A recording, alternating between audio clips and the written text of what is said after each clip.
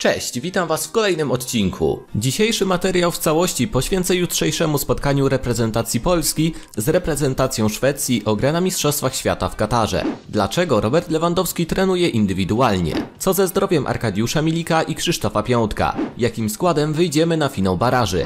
Jakie mamy szanse na zwycięstwo? Na te i wiele innych pytań postaram się odpowiedzieć w dzisiejszym odcinku.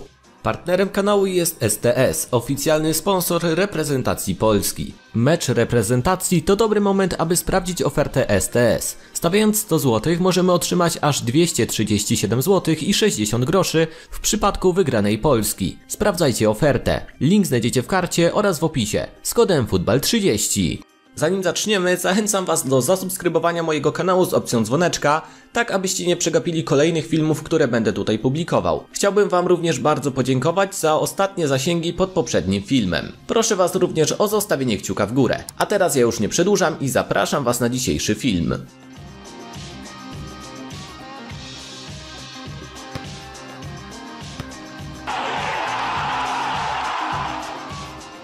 Nie będzie niespodzianką, jeśli powiem, że najbliższy mecz ze Szwedami będzie prawdopodobnie jednym z najważniejszych meczów dla reprezentacji Polski w XXI wieku. Pierwszy raz znaleźliśmy się w sytuacji, gdzie powalczymy o Mistrzostwa Świata za pośrednictwem baraży. Po raz pierwszy wydarzyła się również sytuacja, że nie musimy grać dwóch spotkań, ale od początku. 24 marca biało-czerwoni mieli zagrać półfinał baraży z Rosją, ale niespodziewana inwazja na tereny Ukrainy właśnie przez ten kraj zmusił FIFA do wyrzucenia Rosjan z tych rozgrywek. Teoretycznie Teoretycznie jest to dla nas bardzo komfortowa sytuacja, ponieważ nie musimy grać dwóch ciężkich spotkań o mundial, a jedynie jeden. Niestety rzeczywistość jest nieco brutalniejsza, podobnie jak szkocka reprezentacja, która w formie sparingu zremisowała z nami 1 do 1. Zwykłe spotkanie towarzyskie zmieniło się w dosłowną rzeź i tak też już w pierwszej połowie straciliśmy dwóch zawodników, czyli Bartosza Salamona oraz Arkadiusza Milika. Oprócz tego okazało się, że zdobywca bramki Krzysztof Piątek również nie wyszedł bez szwanków, ponieważ dało się zauważyć jego zakrwawioną stopę. Polak miał założone aż 9 szwów i czekają go 3 tygodnie absencji. Mimo to Piątek zadeklarował, że mimo urazu chce grać, więc jego brak w meczu ze Szwecją nie jest przesądzony. Przesądzony jest natomiast w przypadku Bartosza Salamona oraz Arkadiusza Milika. Łączy nas piłka wydała specjalne oświadczenie na temat stanu zdrowia naszego obrońcy i napastników. Badanie USG potwierdziło naderwanie mięśnia dwugłowego uda u Arka Milika. Uraz wyklucza występ Arka w meczu ze Szwecją. Zawodnik zostanie na zgrupowaniu i będzie poddany zabiegom rehabilitacyjnym. Przerwa w grze potrwa dwa tygodnie. Bartosz Salamon opuścił zgrupowanie i wyjechał do Włoch na konsultację medyczną uszkodzonego mięśnia przywodziciela. W przypadku Krzyśka Piątka trwa walka z czasem. Sam zawodnik jest zdeterminowany, aby móc zagrać w meczu ze Szwecją. Jak możemy zauważyć, sytuacja jest ciężka, a przypomnę, że zagraliśmy jedynie mecz towarzyski ze Szkocją. To jednak pół biedy, ponieważ od pewnego czasu wiele się mówi o stanie zdrowia Roberta Lewandowskiego. 33-latek nie wystąpił ze Szkocją bez przypadku, ponieważ dzień wcześniej opuścił sesję treningową reprezentacji Polski z powodu urazu nogi. Podobnie jak też nie pojawił się na piątkowym treningu, a Interia zdradziła również ciekawy szczegół. Okazuje się, że wcale nie jest dobrze z Robertem. Na piątkowe śniadanie zszedł z okładem lodowym na kolanie. Jeśli Roberta zabraknie w tym arcyważnym spotkaniu ze Szwecją, to powiedzmy sobie szczerze, nasze szanse na zwycięstwo są po prostu marne. To już druga taka sytuacja, ponieważ na marcowym zgrupowaniu w zeszłym roku nasz kapitan został kontuzjowany w meczu z Andorą, przez to opuścił wyjazdowy mecz z Anglią, z którą przegraliśmy 1 do 2 po nie tak złym występie biało-czerwonych. Niewykluczone też, że lewy wystąpi w finale na lekach przeciwbólowych, bądź też tym podobnych środkach, co już kiedyś miało miejsce. Pytanie tylko, czy wystąpiłby od pierwszych minut, czy może dopiero zacząłby grać od drugiej połowy. To już zależy od Czesława Michniewicza. A jeśli już zahaczyliśmy o temat taktyczny, to możemy pospekulować o możliwej formacji oraz kadrze na wtorkowy mecz. Realne wydaje się, że ze Szwedami zagramy na czterech obrońców, wspieranych ewentualnie dwoma defensywnymi pomocnikami, np. w postaci Krystiana Bielika oraz Grzegorza Krychowiaka. Jednak jeśli już mowa o tym drugim, to po meczu ze Szkocją nowy selekcjoner ma podobno wątpliwości do tego, czy postawić na niego w finale od pierwszych minut. Nie odkryje Ameryki, jeśli stwierdzę, że Krycha już od pięciu lat nie prezentuje odpowiedniego poziomu w reprezentacji. Mimo to każdy trener polski zawsze nie bał się na niego stawiać, co często niestety źle się kończyło. Krycha to to nie jest już piłkarz na pierwszy skład w mojej opinii. Ale wracając, z powodu dużej absencji napastników prawdopodobnie zagramy jednym napastnikiem, który może być wspierany z tyłu przez takiego Piotra Zielińskiego czy też Jakuba Modera. Akurat w tym wypadku możemy odczuć również brak Mateusza Klicha, który też nie mógł pojechać na kadrę z powodu urazu. Brakującym ogniwem może się także okazać Nikola Zalewski, który ostatnio regularnie gra w Romie na pozycji lewego pomocnika. A z tą stroną mamy problem w drużynie. Kamil Grosicki wrócił po roku nieobecności i nie znamy dobrze jego aktualnej dyspozycji. Natomiast Kamil Jóźwiak nie został nawet powołany, co jest lekkim zaskoczeniem. Również lewa obrona jest niestabilna. Arkadiusz Reca ze Szkocją udowodnił, że jest kiepskim wyborem na pierwszy skład. Natomiast Tymoteusz Puchacz, mimo że daje wiele w ofensywie, to w defensywie potrafi popełniać dość głupie błędy.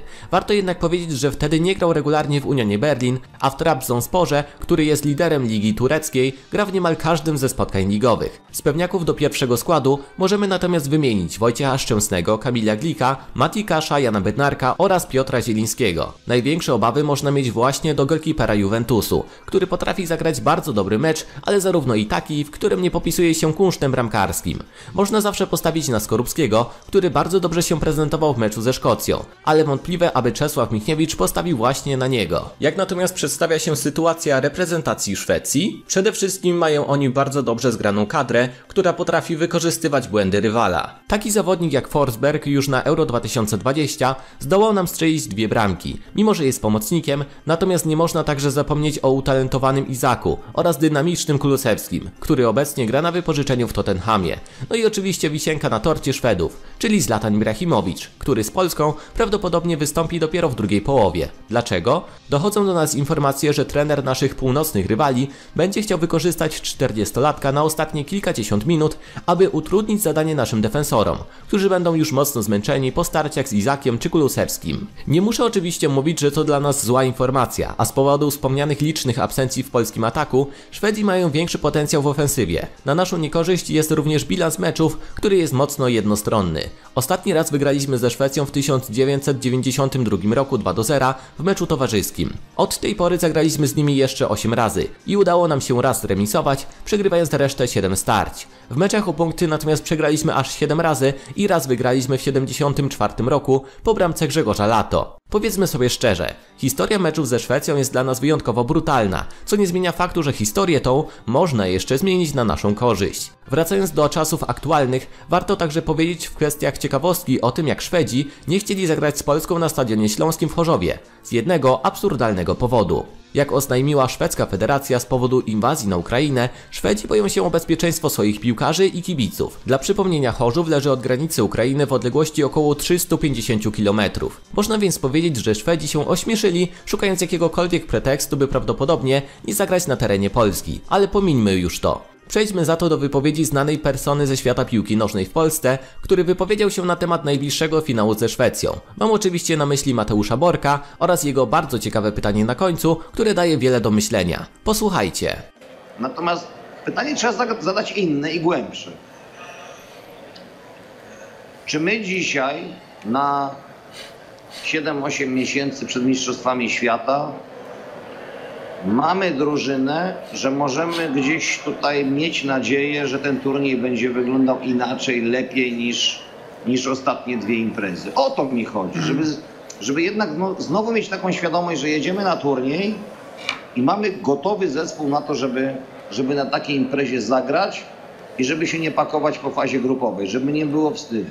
W mojej opinii mamy bardzo duży potencjał, aby być drużyną taką jak Duńczycy czy Szwajcarzy, bo przecież nie odstajemy od nich kadrowo. Nasz problem jednak polega w mentalu i może też dużej presji od kibiców i mediów, która zawsze towarzyszy naszej drużynie podczas eliminacji czy turniejów pokroju Mistrzostwa Europy czy Świata. Oczywiście znajdą się osoby twierdzące jaką presją jest wyjście z grupy czy awans na euro. No właśnie wszystko się o to rozchodzi. Intonacja słów, która jest przekazywana w taki sposób, że takie wyjście z grupy to minimum jakie musimy osiągnąć, co już kładzie na piłkarzy dużą presję. W krajach takich jak Dania czy Szwecja podejście kibiców jest mniej inwazyjne, co daje ich graczom większą swobodę. To też powoduje dlaczego taka Turcja, która ma także silną kadrę, potrafi się kompromitować na turniejach czy w eliminacjach. Tureccy kibice są podobnie wymagający co my, a w razie porażek potrafią mocno krytykować własną drużynę, co z pewnością nie działa dobrze na ich mental oraz swobodę podczas gry. Jest to jednak tylko moje spostrzeżenie, które każdy może odebrać na własny sposób. W komentarzach napiszcie, jakiego wy jesteście zdania na ten temat oraz jaki wynik obstawiacie we wtorkowym finale baraży Polski ze Szwecją.